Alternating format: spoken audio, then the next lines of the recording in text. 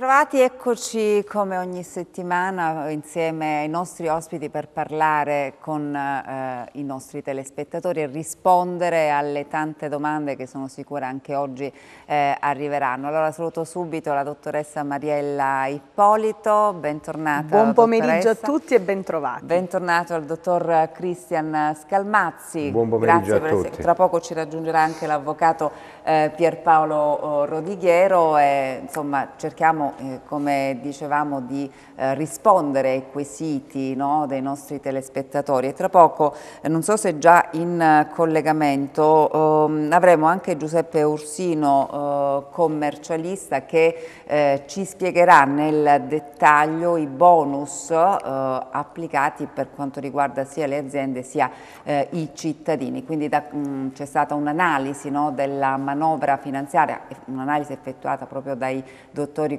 commercialisti della provincia di Cosenza. Ecco, lo vedo già pronto, eh, collegato con noi via Skype. Bentornato, dottor Ursino. Buon pomeriggio, ben ritrovati. Ecco, con lei partirei subito con questi bonus, no? avete fatto questa analisi, stavo dicendo, eh, della manovra finanziaria insieme ai dottori commercialisti della provincia di Cosenza. Allora, nel dettaglio quali sono questi bonus che si applicano sia per le aziende sia per i cittadini privati. Sì, sì. Um, allora, finalmente abbiamo questa legge di bilancio 2023, la legge 197, che è entrata in vigore l'1 di gennaio e più che bonus eh, mi vorrei soffermare, abbiamo trattato ciò che riguarda le norme per la cosiddetta tregua fiscale, la cosiddetta pace fiscale. Le misure sono diverse, sono disparate, riprendono più o meno alcuni istituti che già abbiamo visto in passato, sono disciplinate, quel, faccio riferimento a, alle misure mh, disciplinate dall'articolo 1 dai commi 153 commi, al comma 252 della legge. E in particolare Diciamo che le, le, misure più rilevanti perché si vanno a toccare una, una più ampia platea delle, di contribuenti sono questo già da tanto di, discusso, lo straccio, lo straccio delle mini cartelle. Mi riferisco allo straccio delle mini cartelle per un debito inferiore a 1000 euro che praticamente funziona che per i carichi affidati all'agente della riscossione dal 1 gennaio 2020, eh, 2000 al 31 dicembre 2015 avverrà lo stralcio automatico dei, di questi debiti. Qui eh, si tratta dei carichi affidati all'agente della riscossione da parte delle amministrazioni statali, delle agenzie fiscali e degli enti pubblici previdenziali. Ciò che è importante far eh, notare in, queste, in questa misura e che non rientrano, o meglio, rientrano parzialmente i carichi affidati da tutti gli enti di cui diversi da quelli citati eh, adesso. Parliamo dei ovvero, comuni, ecco, esempio, ecco, diciamo i comuni, perché molti comuni sì, non, aderir non sì. aderiranno ecco, a questa, sì, questa possibilità. Ecco, esattamente, esattamente. Sta, facevo riferimento eh, ai comuni i cosiddetti i tributi locali qui non hanno uno stralcio parziale, perché innanzitutto la quota capitale non verrà stralciata automa automaticamente e per di più è subordinata alla delibera da parte del, dell'ente stesso, delibera che deve essere approvata e comunicata entro il 31 di gennaio di, eh, in scadenza adesso. La certo. seconda misura... Sì, sì pre prego, prego, concluda. Sì, la, la, seconda misura, quella che è importante a cui fa riferimento, è che si ha comunque una riproposizione della cosiddetta rottamazione, si avrà la, la rottamazione quoter che praticamente consente la definizione agevolata di tutti i carichi affidati dal 1 gennaio 2000 al 30 giugno 2022 alla, agli agenti della riscossione. Qui ci rientrano tutti i carichi affidati dalle amministrazioni statali, dalle agenzie fiscali, dagli enti pubblici previdenziali e anche dagli enti locali. Essenzialmente questo che cosa consente di fare? Consente di, di ridefinire la, il debito versando solo ed esclusivamente la quota capitale in 18 rate. 18 rate che, di cui le prime due dovranno essere versate a luglio, entro il 31 di luglio e il 30 di novembre del 2023 e consente così una, diciamo, una definizione del carico tributario a debito. L'altra misura che mh, terrei a citare allora, sono... prima dell'altra misura, dottor Ursino, noi rispondiamo sì. un po' ai nostri telespettatori, intanto ci arrivano un po' di domande anche sul nostro numero eh, Whatsapp, quindi rimaniamo sulla terza misura. Intanto eh, c'è una domanda per la dottoressa Ippolito, ci scrivono, eh, mio figlio prende il reddito di cittadinanza, però L'ultimo ISE è di 7.059 euro avendo, avendo, fatto un progetto TIS. Chiede, eh, dottoressa Ippolito, continuerà il figlio a prendere questo reddito fino a luglio? Allora, il limite eh, come attestazione ISE rimane sempre invariato ed è pari a 9.360 euro. Bisogna vedere però eh, quando lui percepiva, quanto lui percepiva come importo, perché se giustamente ha avuto un rapporto di lavoro e ha guadagnato dei soldi che sono naturalmente eh, stati superiori a quello che lui percepiva come reddito di cittadinanza, avendolo lui dovuto comunicare all'Inps, l'Inps avrà sicuramente ricalcolato il valore e quindi in, questa, in questo caso o gli darà la parte residua oppure addirittura le viene sospeso se naturalmente quello che ha guadagnato è abbondantemente superiore a quello che percepiva come sussidio. Intanto abbiamo una telefonata, pronto? È pronto, buonasera. Salve, da dove Io ci chiama? Benvenuto, da benvenuto, prego. Grazie, buonasera a tutti voi. Niente, volevo fare una, cortesemente una domanda per quanto riguarda l'acquisto della prima casa. Sì. Che agevolazioni ci sono? Quindi acquisto prima casa, le agevolazioni, mm. quindi chi, chi, risponde, il dottor Allora, dipende dal soggetto che pone in essere l'operazione di acquisto. Allora, nel caso di acquisto della prima casa c'è la riduzione per quanto riguarda le imposte di registro ipotecarie e catastale, che invece di essere pagate in misura percentuale vengono pagate in misura fissa. Quindi se lei ha, la poss eh, possibilità di procedere all'acquisto non essendo intestatario di altri immobili, potrà beneficiare dell'azzeramento delle imposte di registro ipotecarie e catastali. Va bene, voleva sapere altro? Si, eh, no, eh, solo questo diciamo, e poi per, per quanto riguarda i prestiti bancari, no? Come allora, non esistono agevolazioni per prestiti bancari per l'acquisto della, della, prima abitazione. Cosa significa? Ah, no. Che comunque se voi acquistate la prima casa avete eh, delle agevolazioni legate all'erogazione del mutuo perché sui mutui comunque gravano delle imposte, c'è un'imposta che si chiama sostitutiva la quale imposta se siamo di fronte all'erogazione di un mutuo per l'acquisto dell'abitazione principale, quindi della prima casa, in automatico queste imposte vengono ridotte.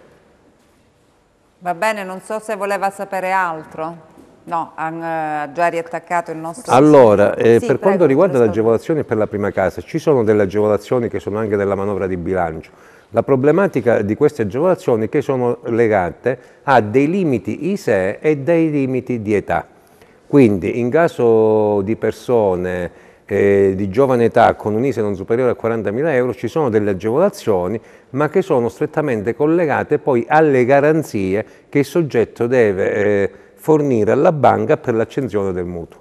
Perfetto, intanto saluto eh, l'avvocato Rodigliero, tra poco eh, lo saluteremo e eh, volevo far intervenire ancora il dottor eh, Ursino eh, perché ci stava eh, spiegando un po' quello che è venuto fuori anche da questa riunione che l'Ordine dei Dottori Commercialisti ha fatto per quanto riguarda il territorio di Cosenza. Non so se è ancora in linea il dottor Ursino, altrimenti prima rispondiamo ad un'altra domanda che ci è arrivata sul nostro numero eh, Whatsapp e poi eh, parleremo della terza no, misura di eh, cui ci accennava il dottor Ursino. Allora, Bracciante Agricola ci chiede, vorrei sapere se ho diritto al bonus Renzi.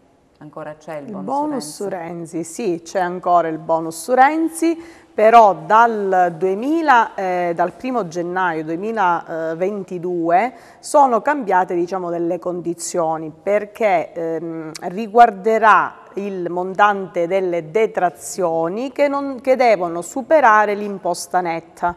Quindi spetta di base, però poi bisogna vedere dalla Q che verrà rilasciata a marzo di ogni anno se effettivamente ehm, il contribuente ne ha diritto o meno. Quindi non, ehm, sono un po' cambiate le condizioni rispetto a quello che c'è stato fino al 31 dicembre 2021.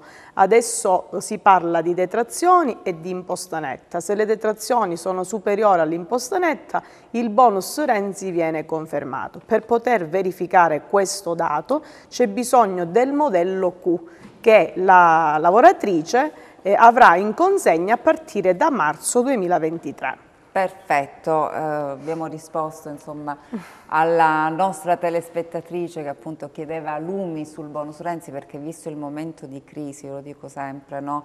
eh, qualsiasi aiuto che si possa intercettare certo. chiaramente è un sollievo per tante famiglie eh, che vivono insomma, eh, diciamo, situazioni eh, non proprio di disagio, non sempre di disagio, ma sono al limite, quindi eh, visti gli aumenti dei prezzi, quello che stiamo eh, vedendo anche in queste ultime settimane, intanto vediamo che eh, con noi eh, l'avvocato Pierpaolo Rodighiero, eh, bentornato avvocato. Bentrovati, bentrovati. Allora, volevo far concludere il eh, dottor Ursino che è in collegamento con sì. noi via Skype, appunto queste misure che vengono dalla manovra finanziaria. Eravamo arrivati, dottor Ursino, al terzo punto. Alla, alla, terza misura, ovvero alla definizione degli avvisi bonari, dei cosiddetti avvisi bonari, le comunicazioni di irregolarità inerenti alle, al controllo automatizzato. Qui c'è un'importante misura perché questa diciamo, è quella che riguarda la più ampia platea dei contribuenti.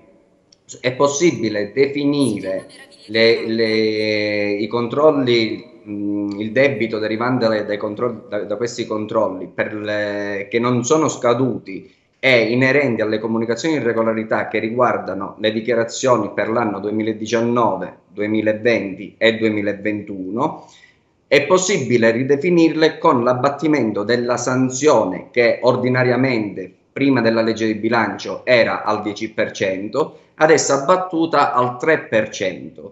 E in più la legge di bilancio ha mh, mm, prolungato a, il periodo di rateazione perché prima era previsto che per i debiti inferiori a 5.000 euro erano previste un massimo di 8 rate, ora è esteso a tutto il carico, a tutto il carico di debito, eh, a prescindere dall'importo, l'ha esteso a un massimo di 20 rate. Attenzione, qui ci rientrano anche chi sta già versando, chi ha, ha già un piano rate, di una comunicazione di irregolarità in corso. Quindi, ad esempio, se si stanno pagando, se si ha un piano rate inerente a una comunicazione di irregolarità dell'anno di una dichiarazione dell'anno 2016, 2017 o 2018 per intenderci, è possibile ridefinire il piano abbattendo le sanzioni dal 10 al 3% e allungando il periodo di, di rate. Perfetto. Avvocato, quindi abbiamo un quadro un po' più chiaro no? da, da, questa uh, manovra finanziaria tra... Uh... Sì, certamente un quadro un po' più chiaro, sicuramente meno le aspettative di noi eh, cittadini erano un po' diverse perché come abbiamo visto ehm, per quanto riguarda le cartelle che sono arrivate, il carico che mh, delle municipalità praticamente eh, queste sarebbero eh, oggetto di eh, rateizzazione o rottamazione solo a volontà dei comuni. Sappiamo benissimo che i comuni hanno un grosso deficit, fanno i conti sempre con le casse semivuote, per cui i cittadini che incidono molto, anche le multe autostradali, quelle che sto dicendo nel perimetro cittadino, queste qui mh, possiamo benissimo non affermarlo, ma è l'evidenza dei fatti, non aderiranno mai ad una rottamazione di tali, certo. ecco, di tali eh, carichi, per cui si dovrà andare con le rateizzazioni normali. Sappiamo che le rateizzazioni normali includono mora e sanzioni, per cui ci sarà il pagamento del debito totale a carico dei cittadini. Quindi adesso la, la notizia, la prossima notizia sarà quali saranno i comuni che aderiranno, ecco, quella poi perché saranno davvero pochissimi. Anzi, nessuno, sì, ma forse. stiamo osservando che i comuni, a parte ad avere le aliquote a spingerle al massimo dalla percentuale che eh, la legge consente e anche mh, dagli enti di riscossione privati cui hanno appaltato i servizi per il recupero delle somme di questi tributi non pagati, purtroppo hanno una rateizzazione inferiore a quella che dà Agenzia delle Entrate e Riscossioni, per cui non sono nemmeno parificati. Con queste sono naturalmente delle decisioni delle municipalità che sono veramente, hanno carattere liberticida, perché in questo periodo così difficile praticamente non si dà ehm, respiro, si caricano le famiglie naturalmente di uh, oneri. E è vero che bisogna pagare queste imposizioni, è vero che bisogna pagare eh, diciamo, quando c'è una violazione alle norme del codice della strada, però è anche vero che i cittadini sono stressati sia per l'evento pandemico che abbiamo superato e soprattutto in questo periodo dall'aumento vertiginoso delle bollette e ovviamente ogni buon padre di famiglia invece di farsi staccare la luce o il gas preferisce non pagare la multa o la Tari, certo. quindi con buona pace di tutti quanti, ma questa è la realtà. Intanto abbiamo un'altra telefonata, pronto? Eh, pronto, buonasera. Salve. Chiamo da Cosenza. Benvenuto, prego. Sentite, io vorrei fare due domande all'avvocato. Sì. No, se ne fate una concentrata è meglio. Vabbè, è riuscito a prendere la linea, avvocato, quindi due domande si Pronto? possono fare. Prego, prego, posso fare la prima domanda. Allora, la prima, buonasera. buonasera. la prima sarà mm, la Telecom, io ho un problema con Telecom entro quanto mi deve rispondere la Telecom alla PEC? Entro 45 giorni per come norma di legge o mi possono rispondere pure fra 3-4 mesi? Che tipo di problema ha con Telecom, se si può dire? Le hanno fatto un distacco, le hanno addebitato? No, praticamente mh, mm, non mi ritorna, c'è un problema con la fibra, con la fibra già segnalato e tutto, però Oh, quindi lei ha fatto una PEC lamentando questi, questi sì, disagi, sì. questi disservizi sì. e non le hanno ancora risposto. Sì, naturalmente entro no. i termini di legge perché le norme regolamentari, soprattutto dei gestori, non hanno dignità di legge, ovviamente, quindi non possono andare oltre le disposizioni normative. Per cui qualora ehm, il regolamento eh, generale che è eh, per ogni contratto che mh, stipulano i gestori sono semplicemente regolamenti che non hanno nessuna efficacia in deroga alle norme eh, di legge, per cui loro devono rispondere entro i 40 giorni, se non lo fanno ci sono delle penalità che questo è nel contratto allegato al servizio. Nel, nella regolamentazione questa si, si applica quando ritardano nel dare risposta all'utente. Un'altra domanda, sì. ma quanto partirebbe... Sì, prego, prego. Quanto? Quando partirebbe la, la rottamazione? La rottamazione, la rottamazione si può fare già adesso la domanda. L'importante è non superare aprile 2023. La rottamazione... Aprile 2023. Sì, sì e dove si possono, come ha detto il dottor Orsini, praticamente Orsino si può mettere Ma quindi, praticamente io anche... Prima a... sentivo dire che c'è una C'è il dottore Orsino, c'è il dottor Orsino in diretta. Lo tolgono i li tolgono sì. in, in, automatico. No, ecco. c'è il dottor Orsino in diretta, ecco, che risponde. Da quando parte, sì. dottor Orsino? Allora, la domanda può essere, deve essere presentata entro il 30 aprile 2023. Ad oggi non vi è ancora un modello, in questi giorni l'Agenzia delle Entrate dovrebbe rilasciare il modello di, di comunicazione. Quindi ancora, non so se voleva fare, se, se, è tutto chiaro per il nostro telespettatore, se è ancora sì, in linea. Sì, tutto chiaro, le auguro una buona serata, grazie per la trasmissione. Grazie, grazie. a voi, buonasera. Grazie a voi come sempre per eh, l'affetto. Abbiamo un'altra domanda che ci arriva sul nostro numero uh, WhatsApp, ci chiedono, dottoressa Ippolito, del reddito familiare. Ecco. Quindi suppongo sia questo il... Il nucleo non... familiare è composto da due persone, però non basta per... Eh, Vabbè, avere... diciamo che possiamo dire in linea di massima i requisiti che bisogna avere per poter uh, accedere al beneficio, in modo tale che almeno una persona si fa l'idea se potrebbe o meno rientrare nella sì. misura.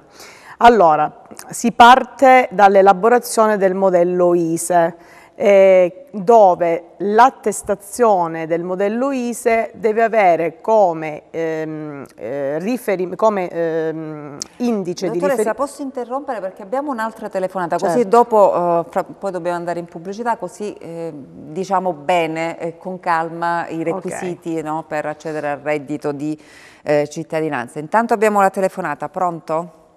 Eh, sì, pronto, buonasera, chiamo da Cosenza. Salve. Senta, volevo sapere se quest'anno le addizionali regionali sono diminuite perché sul cedolino della pensione di mm, gennaio ho trovato soldi in meno sul, eh, come si chiama, sul oh, addizionale regionale e in più volevo sapere per quanto riguarda queste direttive europee sull'efficientamento europeo, ehm, energetico per gli appartamenti, ristrutturazione, cappotto e via dicendo, io non ho nessuna intenzione di farlo perché devo ancora finire il mutuo, me ne devo fare un altro per questa ristrutturazione per, tipo cappotto, infisse e via dicendo, cosa mi succederebbe allora, se non lo facessi? Chi può rispondere, dottore Scalmazzi? Per quanto riguarda quelle che sono le addizionali regionali e, e comunali non ci sono variazioni, eh, per, eh, in, non ci sono variazioni, quindi è rimasto invariato tutto come gli anni precedenti. Quindi mi sembra che la signora ha detto che si è trovata... Quest'anno da gennaio già mi sono aumentate, le regionali invece sono diminuite. Eh, guardi, allora questo dovrebbe vedere poi nel complessivo, perché nel, nel, cedolino di gennaio lei sicuramente avrà trovato delle operazioni di conguaglio rispetto alle trattenute che già le hanno fatto nel corso dell'anno.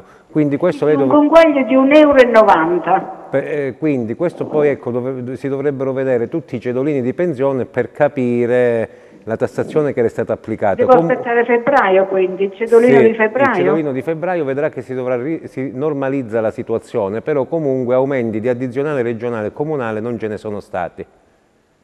Vabbè, ma se è aumentato il reddito dovrebbero aumentare, o mi sbaglio? Certo, quello è proporzionale, io mi intendevo all'aliquota che le applicano.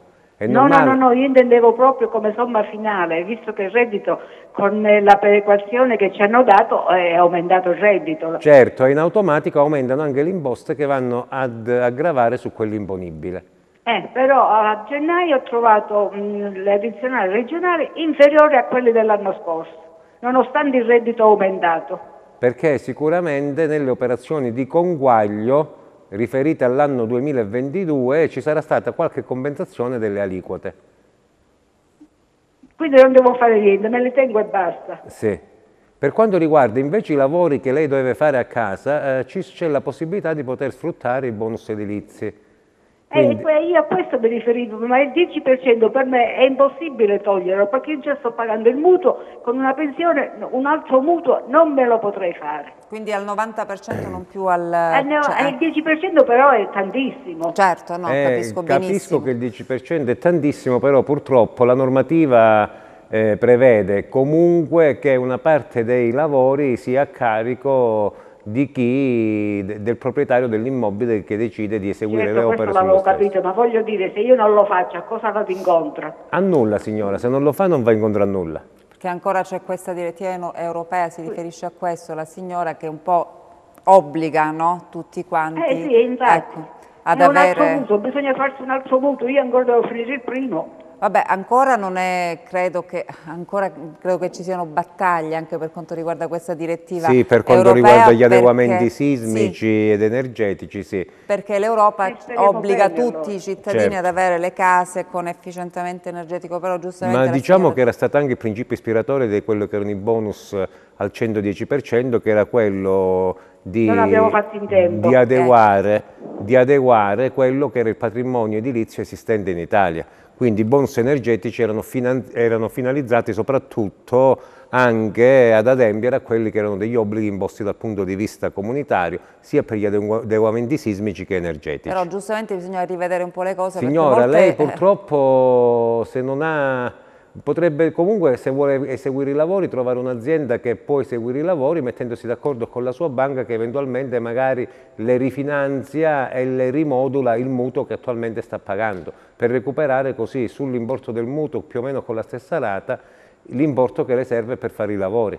Però non credo che la signora voglia farli questi lavori perché dice non ho eh, la disponibilità economica, se l'Unione Europea ci obbliga no, a fare questi, questi adeguamenti, molte famiglie si troveranno si troveranno in difficoltà. in difficoltà. Quindi io credo che il dibattito ancora sia aperto perché bisogna anche eh, vedere no, le esigenze concrete e eh, la disponibilità economica eh, di molte, della maggior parte no, delle famiglie che ci sono sul territorio eh, nazionale. Eh, non tutti hanno la possibilità di... Allora io, non so, allora io non so rispondere dal punto di vista legale però nel momento in cui una normativa c'è degli adeguamenti vanno fatti, purtroppo nel non farli si rischia poi eh, si rischiano le sanzioni previste dalla normativa. Sicuramente la normativa c'è in vigore e quindi gli adeguamenti da parte di tutti quanti andranno fatti. Poi se uno non ha la capacità economica per poter effettuare gli adeguamenti, questo poi diventa un discorso di contenzioso. Eh certo, intanto devo dare la linea alla regia per la eh, pubblicità, però io capisco il punto di vista della, della signora. Eh, mi obbligate a fare degli adeguamenti, ma io come li pago? È questo, e molte persone la pensano in questo modo. Rimanete con noi.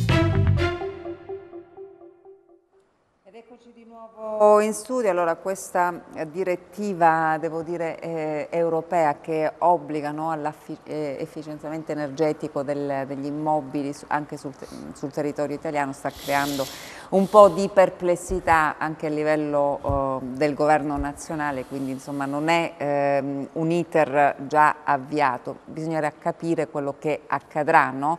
eh, perché è chiaro che se mh, si deve tutelare l'ambiente questo è indubbio, però i cittadini devono essere aiutati, quindi con un bonus come quello che c'è stato, un super bonus al 110%, perché il, molti cittadini non possono eh, permettersi eh, di pagare soldi, perché insomma anche il 10% e il 20% sono eh, dei soldi e sui super bonus eh, avvocato insomma in questi anni ne abbiamo viste eh, di ogni colore, no? perché eh, sono, eh, ci sono state un po' di anche irregolarità, sì. i soliti furbi che magari hanno eh, usufruito indebitamente di questi super bonus eh, a discapito poi delle persone che in effetti hanno agito con linearità e che sono state penalizzate. Sì, vi è stata, eh, stiamo parlando dei super bonus, quelli più famosi che sono partiti durante la crisi pandemica, quindi il 110%, soprattutto perché ha riguardato il patrimonio immobiliare italiano, adesso sta continuando col um, 90% e poi man mano si pensa che andrà a diminuire questa eh, percentuale che non è gratuita. Ne abbiamo parlato più volte che praticamente il, ehm, la circostanza, la pubblicità, la comunicazione che si poteva ristrutturare tutto gratis e però bisogna andare a vedere che vi sono molte criticità e soprattutto eh, vi sono pendenti per molti anni controlli da parte dell'Agenzia delle Entrate e vi sono praticamente, si arriva mh, da 10, 12, anche 18 anni, ne parleremo in una trasmissione sì, perché apposta adesso... perché i termini sono molto eh, anche estesi per quanto riguarda secondo le, ehm, le violazioni che possono diciamo come incidente eh, essere una scoperta spiacevole per i condomini e quindi per i condomini, Beh, per cui ne parleremo. Sì, tra poco faremo intervenire anche il dottor Orsino che è ancora collegato con noi, ma abbiamo intanto una telefonata. Pronto? Pronto? Salve, da dove ci chiama? Chiamo da Spezzano Albanese. Benvenuto intanto, prego. Eh, io ho delle cartelle esattoriali del Consorzio Bonifica sì. eh, che dal 2019 arrivano, che non ho pagato, e arrivano sempre con la mora. Adesso per non pagare la mora, ma pagare soltanto il, eh, il, il pezzo. È un po' disturbata la telefonata, non so se... Chiedo scusa perché non so se l'avvocato ha capito, io so che ci sono queste cartelle del consorzio di bonifica di pagamento dal 2019, poi un po' c'è un disturbo sulla linea eh, telefonica. Signora, qual è la domanda? Lei dice che non deve pagare queste cartelle oppure vuole sapere altro? No, eh, se io voglio pagare soltanto la cartella eh, originale, senza le more, a chi mi devo rivolgere? Per poter togliere le sanzioni. Ok, quindi eh, avvocato, a chi si deve rivolgere? Vuole pagare soltanto? Non so se anche i nostri consulenti Senza... possono rispondere. Allora, la signora forse intendeva se eh, con questa debitoria del 2019 riguardante il consorzio di bonifica se rientrava nella rottamazione dove prevede il pagamento solo del debito togliendo le sanzioni e gli interessi. A quanto pare questa tipologia di debito, quindi relativa al consorzio di bonifica, non rientra tra le tipologie di debito oggetto di rottamazione, per cui non si può pagare solo il debito, ma si deve pagare il debito più sanzione e gli interessi da quando sono maturati. Questo, insomma, in questo caso sì. bisogna... Non rientrano proprio tra le tipologie di debito rottamabili. Ho capito. Dottor Orsino... Eh, però sì. bisogna andare a vedere, scusate, però voi non vi andate a preoccupare di non pagare la mora, dovete andare a preoccupare i terreni per, per cui vi chiedono queste quote consortili sono, sono innanzitutto nel perimetro del consorzio, Seconda domanda, i vostri terreni sono mai stati oggetto di lavori, quindi di bonifica di questo consorzio? Perché altrimenti non è dovuto. Quindi Beh, si va in commissione tributaria per annullare totalmente eh, questo eh, onere consortile che spetta. Come abbiamo detto, i consorzi di bonifica, il perimetro è del dopoguerra e quindi dove prima c'era il perimetro del consorzio di bonifica, adesso ci sono città, per cui uno deve prima andare a vedere se sul proprio terreno è stato oggetto di lavori, perché gli oneri consortili si pagano una prestazione di bonifica, manutenzione e quant'altro, irrigazione, quindi contenimento delle acque, e quindi bisogna andare a vedere se c'è stato questo lavoro da parte del consorzio, altrimenti non è dovuto. Per come si fa ad affermare che non è dovuto? Entro 60 giorni da quando arriva la richiesta di pagamento da parte del consorzio in commissione tributaria e quindi quello è, però dovete più andare a vedere quello, quindi se, non preoccuparvi se, se dovete pagare la mora o meno, andatevi a preoccupare se, se è dovuto o meno, cioè, quindi, quindi, fate in buona sostanza fate vedere alla, alla vostra associazione di, di categoria se siete un coltivatore diretto o qualcuno che ha eh, diretta, eh, diretto lavoro con eh, i terreni o un commercialista, un'associazione di consumatori e vi sapranno dire senz'altro se rientrate nelle ipotesi per impugnare, ma certo. quella, questo dovete andare a vedere, se intanto, è proprio dovuto. Intanto abbiamo un'altra telefonata, pronto? pronto? Pronto? Salve, da dove ci chiama? Da Cosenza, buonasera, volevo parlare un attimo con l'avvocato. Eccolo. Buonasera Avvocato. Buonasera. Senta, mi sente? Sì, sì. Ho ricevuto un'ingiunzione di pagamento dall'anno 2013 al 2021 dalla municipia Comune di Cosenza di 3.024,36 euro. Però premesso che io sono una, eh, sono una mm, oddio, eh, pensionata minima di 600 euro al mese, potrei contestare il tutto? No, per il reddito no, sicuramente no. A che titolo vi hanno fatto? Qual è il tributo che vi viene chiesto con queste eh, ingiunzioni oh, di pagamento? Acqua, oh, mm, mi sembra, è acqua, acqua, sì, acqua. Eh, però sì. vi, vi, vorrei dire che se vi è arrivata la ingiunzione di pagamento, questo sì? presuppone, presuppone giuridicamente che prima vi siano arrivate altre richieste di pagamento eh, purtroppo sì. Oh, dove vi dicevano guardate vi, vi facciamo l'avviso, guardate eh, che sì. non avete pagato, vi accertano eh, sì. quello che non avete pagato, per cui diciamo che non è impugnabile nel merito, quindi non è ah, ecco. impugnabile questo, questa eh, ingiunzione. Però che cosa c'è? Adesso con delibera del 3 gennaio de, uh -huh. del eh, 2023 il Comune di Cosenza finalmente ha recepito le istanze dei cittadini e uh -huh. mentre prima mh, per quanto riguarda il vostro credito concedeva 5 rate, quindi 600 ah. euro perché andava pure a scaglioni, praticamente adesso consente una rateizzazione minima di 50 euro al mese fino ad estinzione del, eh, del debito che diciamo è portato in ingiunzione, però questo ve lo può fare.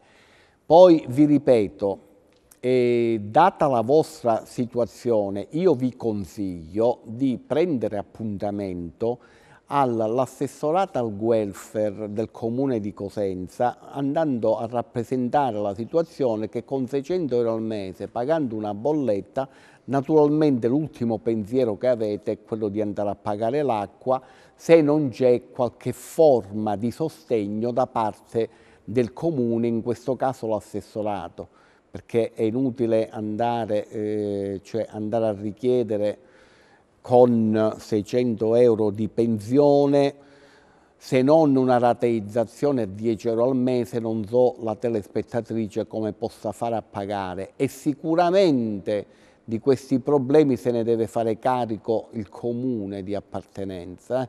perché poi bisogna salvaguardare la socialità, quindi se ti fanno stare male i cittadini non, non si fa un buon servizio, eh? perché ne arrivano tanti di casi come lei, signora, eh?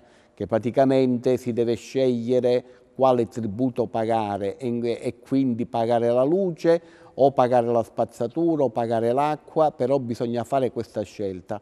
Sicuramente la signora non può stare al buio, quindi sicuramente sceglie di pagare la bolletta della luce e non certamente l'acqua, quindi l'ente pubblico deve intervenire in, questi, in, questi, in qualunque modo, però deve intervenire perché ci sono cittadini che devono essere ausiliati. Sicuramente, non, non si E non si scappa su questo perché è un, un principio di giustizia sociale.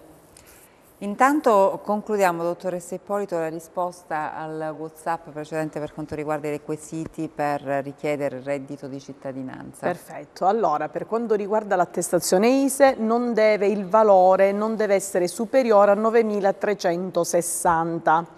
Poi per quanto riguarda il patrimonio immobiliare eh, escluso naturalmente non considerando la prima abitazione, non deve essere superiore a 30.000 euro.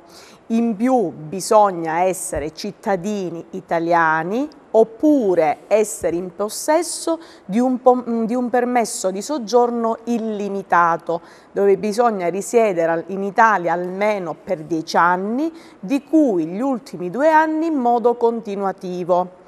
E non bisogna avere presentato dimissioni volontarie nei 12 mesi antecedenti la richiesta del reddito di cittadinanza, non bisogna essere proprietari di autoveicoli immatricolati per la prima volta nei sei mesi antecedenti alla richiesta del reddito di cittadinanza e l'autoveicolo non deve essere di cilindrata superiore a, 1600.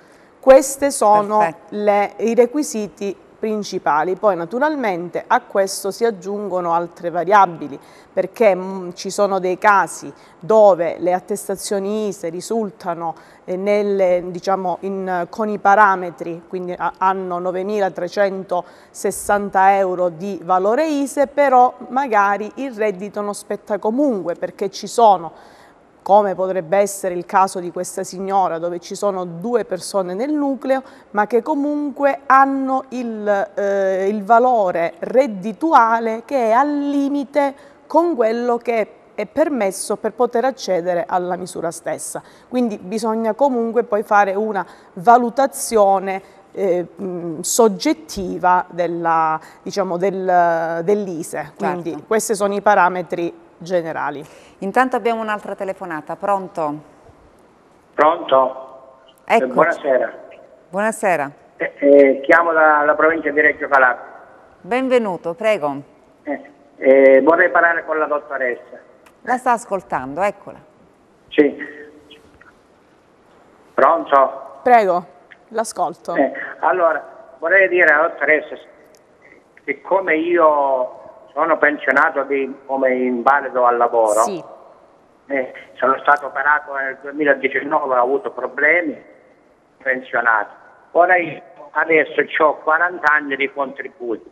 Mi hanno pensionato per tre anni e a dicembre, 31 dicembre mi è scaduta la revisione, ho fatto di nuovo revisione e sono stato confermato per altri tre anni. Quindi lei... Però siccome io ho 40 anni di contributi, più altri due li ho versati eh, 2021 e 2022 come imprenditore agricolo, non sì. dovrei passare come pensione definitiva?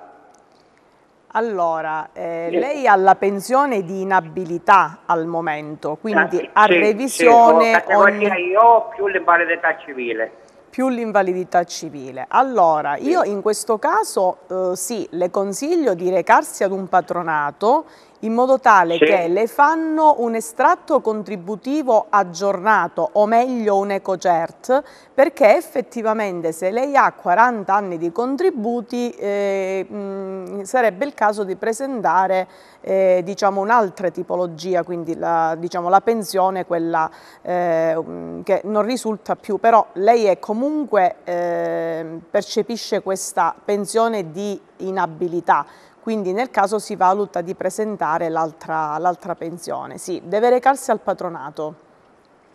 Va bene. Più altri due ho versato come imprenditore agricolo. agricolo. E sono arrivata a 42. Per questo, sì, le, eh. sì deve, deve, rivolgersi al patronato, patronato suo di fiducia ah.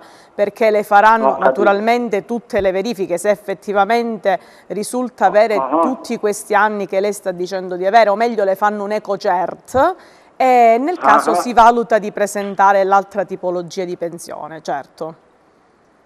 Va bene? Sia come anno contributivo si intende dire, no? Esattamente, contributiva, eh, esattamente. Visto che ha 42 sì, sì. anni dice di avere, quindi si valuta la pensione oh. contributiva, certo. Sì, perché io momentaneamente ce l'ho come invalidità al lavoro, non ce l'ho sì. come anno contributivo. Esatto, lei ha preso questa pensione di inabilità perché ha avuto sicuramente questo incidente, queste problematiche di salute. di salute, sono stato operato per questo. Perfetto, sì sì sì, la deve, deve rivolgersi subito al patronato, assolutamente ah, sì. Ho capito, va benissimo, ok, va bene, la ringrazio. A lei, salve. Grazie a lei per aver telefonato, rispondiamo a qualche altro messaggio che ci arriva sul nostro numero WhatsApp e ci chiedono. Eh, chi fa richiesta per fitto casa presentando un ISEE basso, i soldi vanno al proprietario come dice la Melone oppure si riferiva solo a chi prende il reddito? No. Sì, solo a chi prende il reddito di solo cittadinanza, perché sono due cose diverse, chi prende il reddito certo. di cittadinanza chiaramente ha questa quota che si riferisce sia al pagamento del fitto per la casa e anche il mutuo in alcuni casi. Certo, giusto?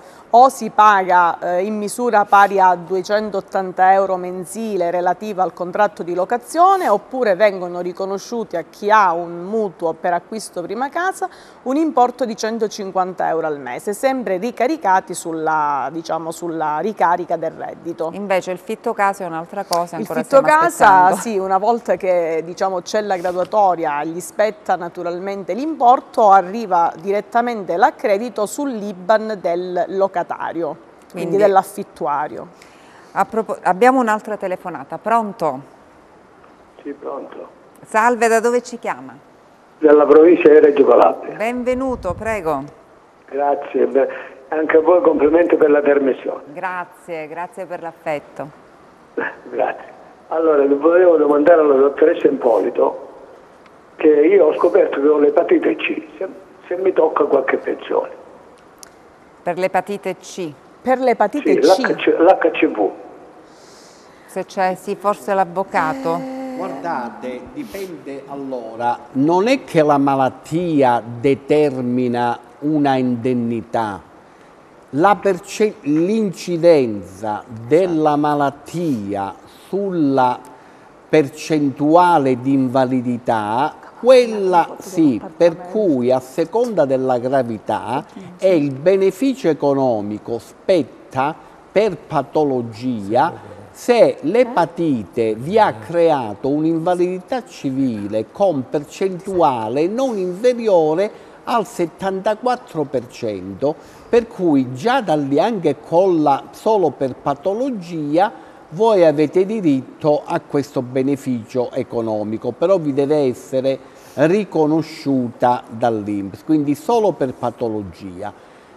E questo dal punto di vista economico. Sapete benissimo che con tale patologia, indipendentemente dal grado di invalidità, avete diritto a tutti i protocolli praticamente sia eh, gli ausili che vi servono sia la diagnostica, la terapia, quella è gratuita, ma questo già lo sapete perché avete un codice a parte solamente riferito a questa patologia. Non c'è solamente l'epatite, ma ci sono anche altre patologie che a seconda dell'invalidità portano sia al beneficio economico, in casi più gravi naturalmente portano anche all'indennità di accompagnamento, per cui per patologia si può avere, però bisogna, non è la patologia che è del beneficio economico, è il grado di invalidità che provoca la patologia a determinare il beneficio economico.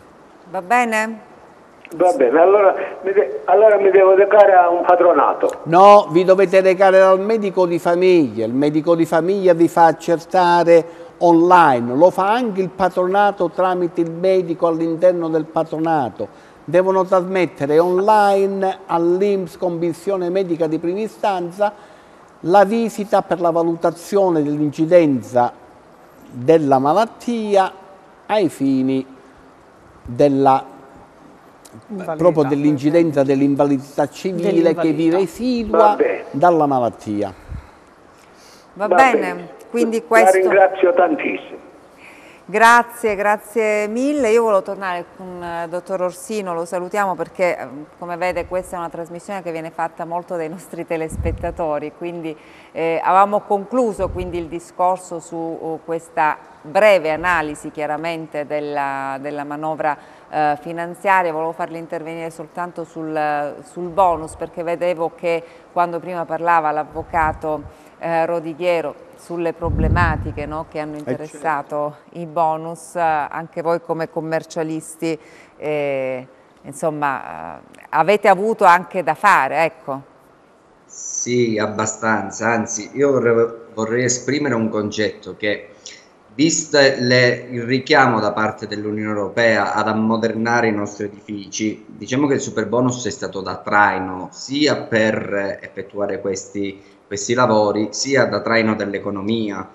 Purtroppo si è creata un po' di paura nei contribuenti, nei committenti, perché la legislazione è stata abbastanza, dal, dall'introduzione del super bonus col DL rilancio a, ci sono stati for, forse un'altra decina di decreti che lo hanno modificato, infatti invito ad andare a leggere l'articolo 119 del DL rilancio e come è modificato adesso.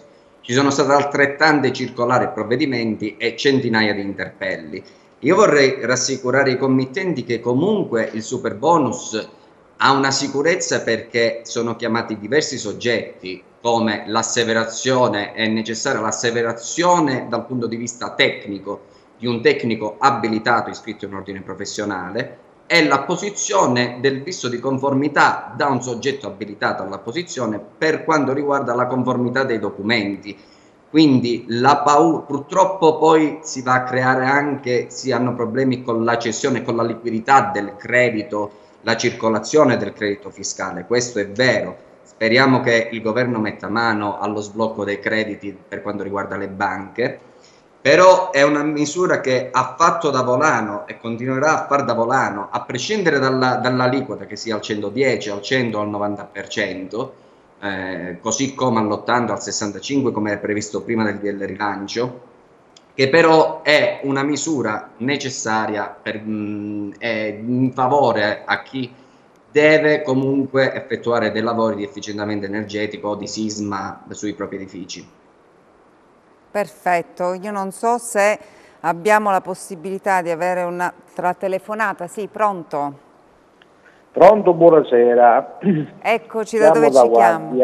Benvenuto. Senti, un'informazione, volevo chiedere, un, volevo fare una domanda alla dottoressa o all'avvocato. Io sono un percettore, percettore di, di, per... di il mio sono un DIS. Ho due figli, di cui uno è diventato maggiorenne il mese di aprile. Dal mese di aprile fino ad oggi, con la domanda fatta, non mi hanno dato più gli assegni familiari. Come mai? Dottore Scalmazzi. dovrei rivolgere? Ho capito, oltre ad essere percettore di reddito di cittadinanza...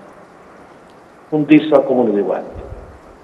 Allora, lei è percettore di reddito... Fa? Cosa fa il comune di Guardia?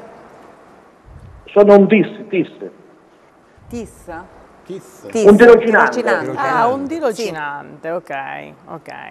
Sì. sì. quindi gli hanno sospeso per come ho capito questi... No, avete fatto la domanda di diritto di cittadinanza e non, non, vi è stata accolta, è in valutazione? No, no, no, no. Ah, il, reddito di cittadinanza io lo piglio.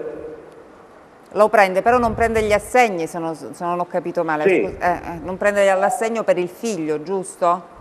Per il figlio maggiorenne, per quello minorenne li sto pigliando. Per quello maggiorenne quando Per il maggiorenne dal mese di aprile, come ha fatto i 18 anni che è diventato maggiorenne, non l'hanno dato. i dati. Bisognerebbe dovete aggiornare, fare aggiornare sì. i dati e dovete comunicare all'Inps che il vostro figlio è impegnato in percorsi di studio e di formazione. Allora, no, abbiamo fatto già la domanda, abbiamo già sì, fatto la domanda. Sì, però quando, quando c'è nel nucleo familiare un figlio che compie 18 anni, per poter continuare sì, a percepire l'assegno bisogna comunicare che il figlio è impegnato o a livello scolastico sta continuando gli studi o è in un tirocinio e, e allora gli, gli, deve essere sbloccato. Oppure se non gli è stato sbloccato può darsi che l'Inps richieda un, eh, o un'autocertificazione con la firma del genitore o addirittura un certificato di frequenza scolastica che potete trasmettere tramite, tramite o la PEC del patronato che vi ha fatto richiesta o tranquillamente tramite il canale SPID, se siete in possesso di SPID, potete allegare il certificato, l'autocertificazione direttamente sulla vostra pagina IMSS Risponde che vi mette in comunicazione personalmente con l'IMSS. Allegate questo modulino e sicuramente la eh, domanda vi verrà sbloccato, quindi l'assegno di vostro figlio vi saranno riconosciuti gli arretrati da quando è stata bloccata. Va bene?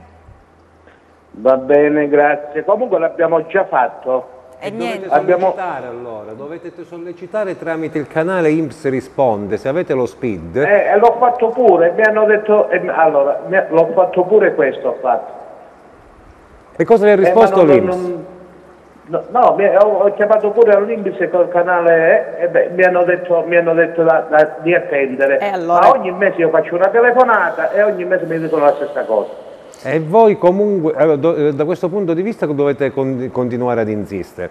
Io vi consiglio di, eh, però invece di telefonare, ecco, di, fa, di tracciare la pratica attraverso i messaggini del canale appropriato nell'area dell'Inps, Ad, risponde. Addirittura sarebbe ancora meglio se lei ehm, ha fatto la trasmissione della domanda tramite il suo patronato di fiducia, di recarvi eh, al patronato in modo tale che vi fanno una PEC dove riportano il, diciamo, il protocollo della domanda riportano l'aggiornamento dei dati che è stato inserito in modo tale che non che ci sia un canale preferenziale, però un, eh, una PEC mandata dal patronato sicuramente viene gestita in tempi ancora più brevi rispetto alle comunicazioni del cittadino che comunque l'Inps gestisce in tempi molto brevi e glielo dobbiamo riconoscere e anche celere nel rispondere alle domande da canale cittadino a Inps. Per cui eh, se vi hanno detto semplicemente di attendere e probabilmente eh, diciamo, mh, è tutto a posto, non c'è nessun problema, però secondo me sarebbe ancora meglio farlo tramite il canale patronato, se sono stati eh. loro a gestirvi la, la pratica. Certo, certo, perché magari hanno magari un modo più diretto, comunque chiamano o magari prendono anche un appuntamento in sede con una vostra delega e vanno a verificare se effettivamente c'è la completezza dei documenti che sono stati forniti da parte vostra. Bene, io devo dare la grazie per la telefonata, questa insomma la strada da seguire per poi raggiungere il risultato. Devo dare la linea alla regia, rimanete con noi, torneremo tra pochissimo. Ed eccoci di nuovo in studio. Allora, intanto saluto il dottor Orsino che è rimasto con noi fino a quest'ora e lo ringrazio chiaramente per eh, la disponibilità, le auguro buon lavoro e grazie per eh, i consigli che oggi ci ha dato. Grazie, grazie, grazie, al dottor Orsino e rispondiamo anche a qualche altra domanda che ci arriva sul nostro numero Whatsapp. Ehm, ci chiedono, volevo sapere come funziona eh, la social card, quali, bisogna, eh, quali, requisiti bisogna avere e quale reddito eh, familiare. Ci scrive un pensionato, quindi ancora c'è la social card? Ancora vigente, naturalmente bisogna avere sempre un modello ISE che non deve superare i 7.100 euro come importo. E in più ehm, non bisogna avere un reddito superiore a eh, 9.100 qualcosa per quanto riguarda ehm, reddito singolo, se si parla di reddito coniugale non bisogna superare 13.663, quindi questi mediamente sono i parametri. Non credo che con il 2023 siano apportati modifiche che siano di gran lunga superiore a questi importi che ho fornito, ma eh, diciamo che eh, i requisiti fondamentali sono questi, quindi per tutti coloro che ritengono che possano rientrare con questi parametri invito a fare subito il rinnovo del, del, dell'ISE entro il 31 di gennaio e per chi ancora non l'ha fatta di presentare naturalmente la richiesta del, della carta della social card. Perfetto, a proposito di se ci chiedono il mantenimento dell'ex coniuge va inserito nei redditi da lavoro dove si mette questo mantenimento dell'ex coniuge? Quindi... Nel modello ISE eh, sì, c'è naturalmente eh, un, una sezione dedicata al mantenimento dei figli, al mantenimento del coniuge oppure mantenimento coniuge e figli, quindi c'è una sezione dedicata dove vanno inseriti gli importi che si percepiscono dalla, di, dal mantenimento, sia se riguarda il mantenimento dei figli, sia se riguarda il coniuge e i figli. Quindi ci sono le parti che riguardano coniuge e la parte che riguarda figli. Perfetto. Distinti se, e separati. Se si va da un consulente, un, insomma, si, è facilmente risolvibile, no? Certamente cioè... sì. Naturalmente vanno inseriti sia per chi li percepisce, sia per chi li eroga, quindi anche la parte che naturalmente è a favore di chi perché se, se, io devo dare un mantenimento e io devo fare il modello ISE, anch'io che do il mantenimento devo naturalmente metterlo come mantenimento corrisposto e quindi naturalmente vanno a sgravare, magari a, a certo. decurtare eh, diciamo, ehm, l'importo dell'attestazione, mentre per chi invece li riceve c'è la sezione dalla, nella parte del, di chi riceve.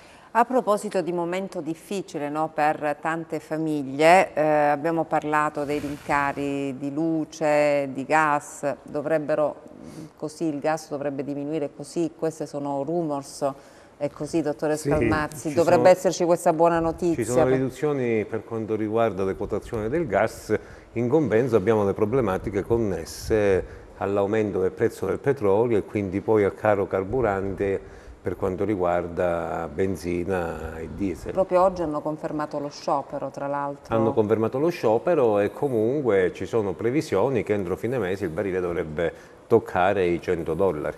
Quindi eh, che Anche si fa?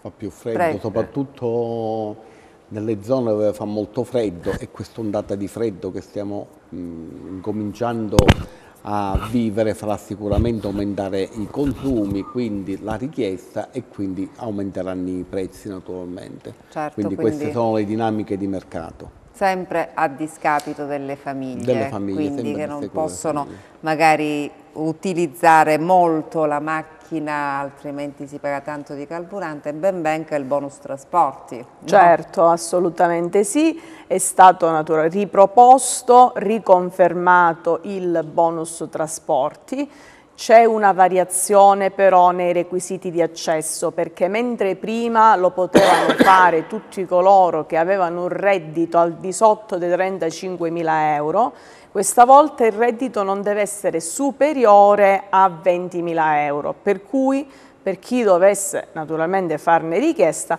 veri deve verificare bene che ci siano i requisiti, altrimenti poi giustamente in fase di verifica e di controllo da parte del, dell'ente si rischia poi di dare indietro certo. il beneficio che si è avuto non in modo corretto. Certo, abbiamo una telefonata, pronto? Eh, buonasera, volevo fare una domanda all'avvocato. Certo, da dove ci chiama? Da Rente. Benvenuto, prego. Grazie. Avvocato, buonasera. Buonasera. Senta, io volevo chiederle questo, siccome mm, sono mm, in pensione, però um, in pensione perché praticamente ho avuto una malattia ehm, oncologica, quindi praticamente niente, l'ente mi ha mandato a visita e mi hanno fatto oh, inabile eh, a tutto praticamente, non, io non posso svolgere nessun lavoro. Eh, sto prendendo una pensione del mese di agosto, eh, avevo 37 anni di servizio e in più uh, ho il 100% di invalidità. Ma volevo chiederla, mi tocca uh, qualche altra cosa a me oppure... Quanti anni avete? Io ho 50, eh, 61 anni. 61 anni. 61 anni, non, non, allora, eh, con i contributi non andate in pensione. Voi avete questa indennità voi, eh, perché vi deriva questo beneficio economico dalla invalidità che voi avete, avete il 100%, oltre ad avere mh, anche lavorativamente non siete abile all'inabilità lavorativa al 100%. Eh, avete praticamente questo eh, beneficio economico per malattia non potete sovrapporre perché praticamente se avete l'invalidità riconosciuta per questa malattia oncologica non potete sovrapporre malattia con invalidità per altre cause. Premesso ciò, L'unica cosa in questo momento, dato che avete il 100% sia di invalidità che di inabilità assoluta al lavoro, se le condizioni quindi generali vostri sono tali che vi rendono molto difficoltoso, se non impossibile, compiere gli atti quotidiani della vita, quello che potete accedere è solamente all'indennità di accompagnamento se ci sono i presupposti, altrimenti... Ho fatto anche questo e me l'hanno respinta.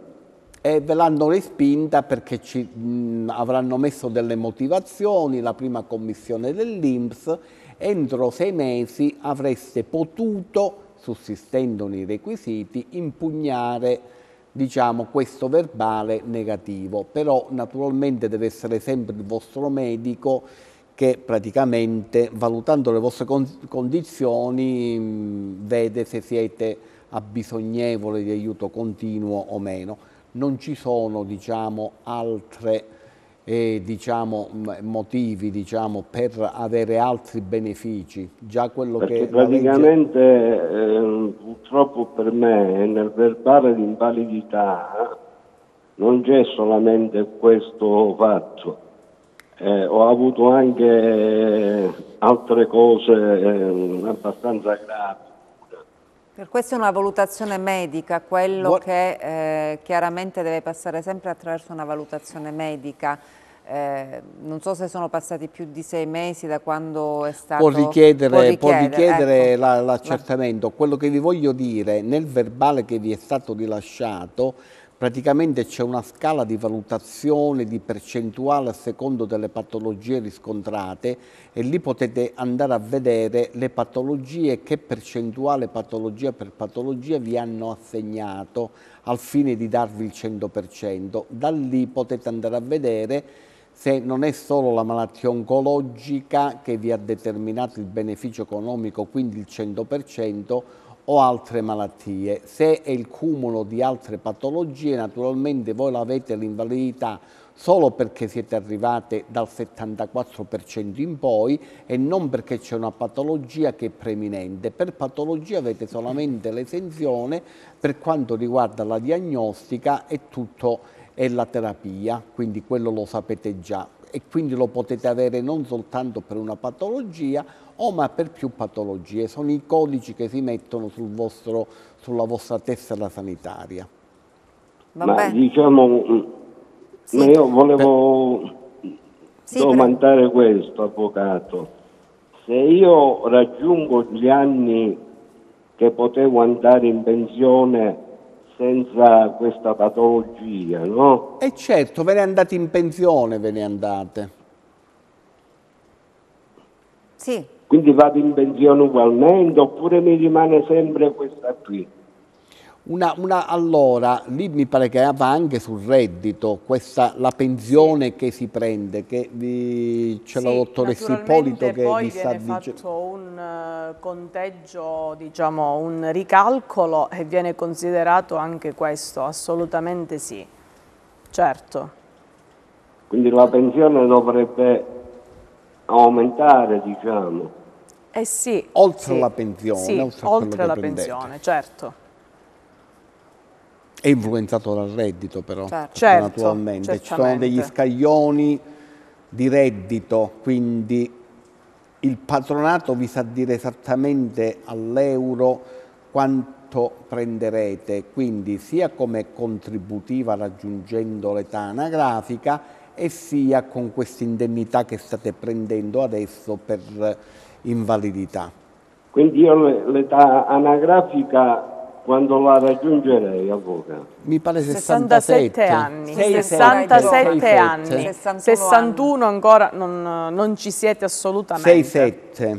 Ancora, sì. a meno che non ci voglia andare con la 103 adesso. No, ma non, non no, no, no, ma non ci rientra neanche, mi non pare. Non, non, ha proprio i requisiti per poter eh, Niente, andare con È ancora troppo 103. giovane per, no. per la pensione. Va bene, non so se voleva sapere altro. No, gentilissimi e tante cose, siete veramente eh, eccellenti. Grazie, grazie sempre per l'affetto. Una... Buonasera. Buona serata. Rispondiamo anche a questo nostro telespettatore che ci dice che ha lavorato con l'amianto per oltre mm. vent'anni come operaio. Ci chiede però, nella mia posizione rientrano le agevolazioni sui contributi? Io non so... Um, se insomma lavorando con l'amianto? Allora, eh, c'è eh, c'è la possibilità di verificare, perché quest per questa tipologia di lavori eh, rientrano tra i lavori gravosi, sì. quindi ehm, il, diciamo, il telespettatore se naturalmente ancora non l'ha fatto, gli consiglio di andare al patronato perché vengono fatte sicuramente l'estratto contributivo e si vede se oltre ad avere questo requisito dei lavori gravosi se ci siano anche gli altri che naturalmente le consentono di presentare la domanda certo. stessa. Certamente questo lavoro che lui ha fatto è considerato un lavoro gravoso e quindi ci sono delle agevolazioni, certo. Telefonate intanto, pronto? Eh, buonasera. Salve, da dove chiama? Eh, da Cosenza, vorrei parlare con la dottoressa Di Ippolito. Eccola. Buonasera dottoressa. Buonasera a voi. Ah, eh, eh, volevo un'informazione, siccome io sono pensionato invalido civile al 100% con lo compagno, no? Sì. E giustamente il 2021 mi hanno aumentato la pensione e giustamente il reddito di cittadinanza me l'hanno diminuito e ci sta, giustamente ci sta.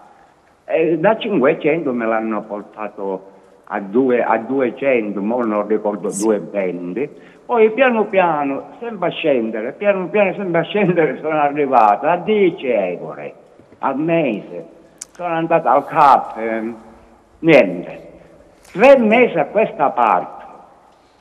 Eh, anzi, io lo volevo anche sospendere. Comunque, tre mesi a questa parte, di 10 euro mi hanno dato 115 euro. È possibile. È un po' ballerino. Ho preso sì. sempre 10 euro il primo mese, poi mi hanno dato 110, 112. Il mese precedente mi hanno tolto altri 40 euro. Ma che fanno? Alzano, bastano, alzano. Diceva un po' ballerino questo reddito del Perché? nostro telespettatore. Eh, effettivamente eh, questi importi che cambiano di eh. mese in mese eh. è una novità. A meno che non di mese in mese il nostro telespettatore ci può stare che subisce che una variazione, quello sì, perché lei ha avuto un incremento della sì. pensione di invalidità. Sì, ma ci sta, lo so, quindi lo ci so. sta però che siano importi così differenti effettivamente è molto strano. Non vorrei che ogni mese sia cambiato qualcosa a favore o a sfavore suo, che abbia potuto fare questi importi, oppure l'Inps non aveva fatto correttamente il ricalcolo, quindi magari... Ma l'ha fatto il ricalcolo, l'ha fatto.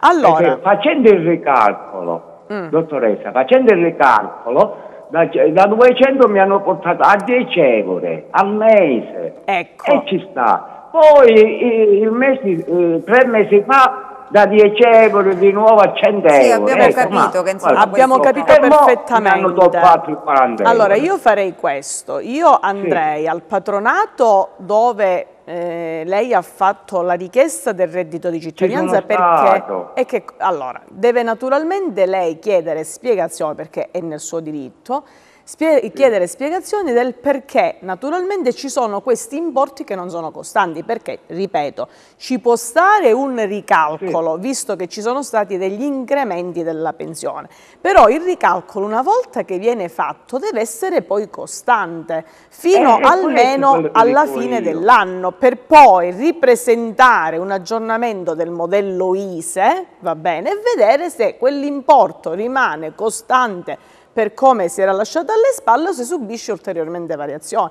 Però lei sta dicendo che è passato un mese 10 euro, poi 40 euro, sì, poi 115, un è un po' strano. Quindi quantomeno fare un'interrogazione all'Inps e chiedere il motivo per cui ci sono stati questi importi che sono cambiati mese per mese.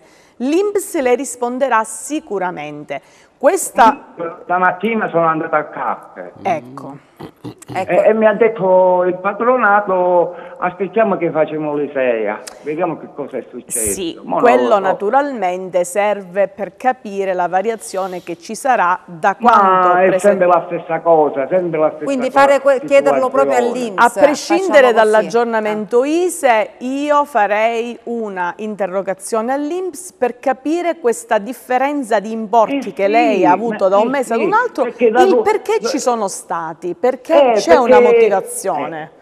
Eh, eh, da due, scusate, da 200, da 200 mi hanno portato eh, certo. da 200 mi hanno certo. però ma, ma, solo l'Inps può darci una spiegazione. 10 euro. E, e questo è veramente però per poter l'ho preso per 4-5 mesi dopo non abbiamo capito. sì, sì abbiamo capito. andate all'Inps così poi ci fate sapere. Il costo oh, mi hanno tolto 40 euro sì. sì, allora l'unico modo, quello che diceva la dottoressa Ippolito, è chiederlo all'Inps, come tramite eh, il, il patronato, patronato, oppure se è in possesso dello SPID, tramite il canale INPS risponde, lei può conversare personalmente con l'INPS e chiedere il motivo per cui nel mese di novembre ha avuto 10 euro, nel mese di dicembre ne ha avuti 40, nel mese di ottobre ne ha avuto 115.